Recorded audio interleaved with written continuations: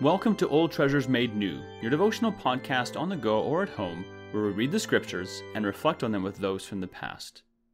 Today we're reading Mark 8, verses 22 to 26, and then through J.C. Ryle's expository thoughts on Mark.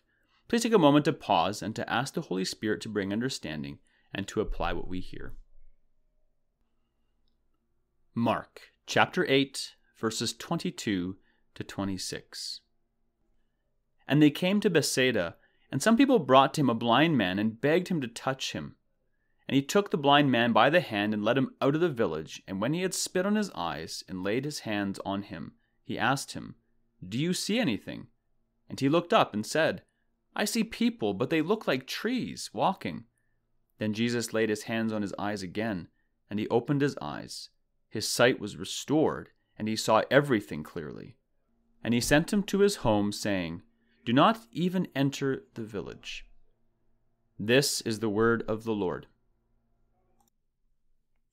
We do not know the reason for the peculiar means employed by our Lord Jesus Christ in working the miracle recorded in these verses. We see a blind man miraculously healed.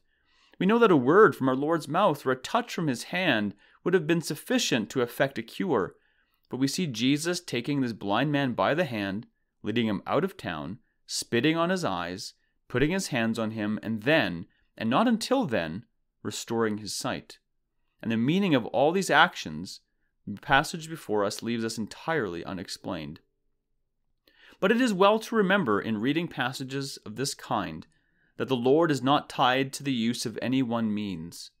In the conversion of men's souls, there are diversities of operation, but it is the same Spirit which converts. So also in the healing of men's bodies, there are varieties of agency employed by our Lord, but it was the same divine power that effected the cure. In all his works, God is a sovereign. He gives no account of any of his matters. One thing in the passage demands our special observation.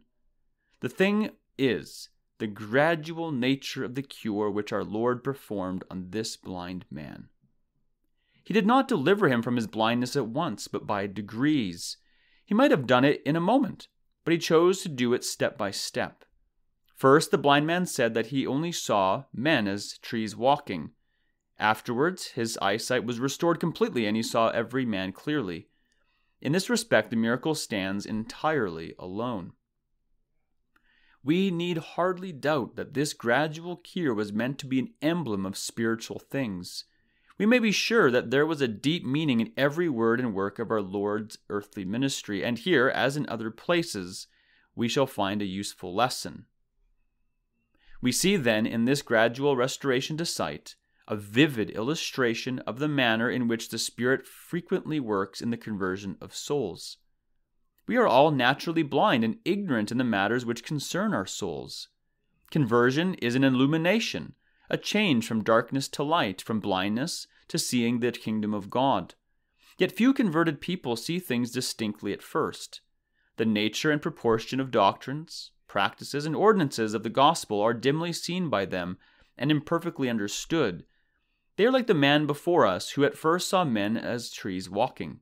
Their vision is dazzled and unaccustomed to the new world into which they have been introduced.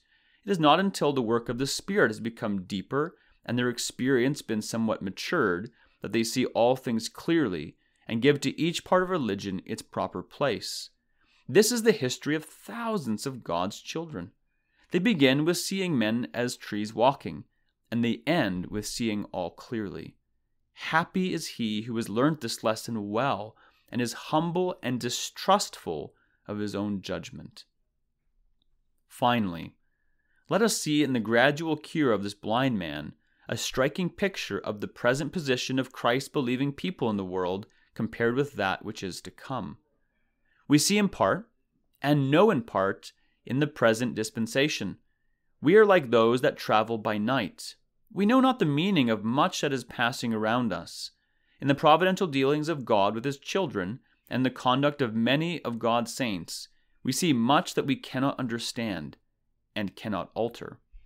In short, we are like him that saw men as trees walking. But let us look forward and take comfort.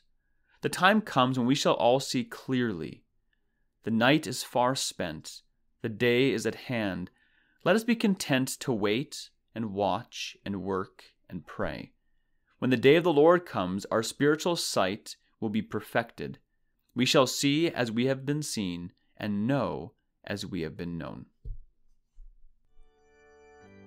That is the end of Ryle's expository thoughts for these verses. Let us carefully consider what we have heard today, and may the Lord be pleased to bring the growth for His glory.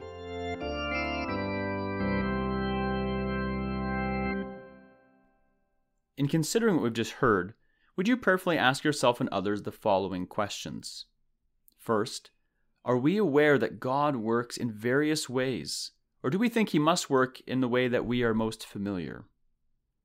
And second, are we humbled by the fact that there are more areas than we are likely aware of things that we do not yet understand, either in knowledge or practice?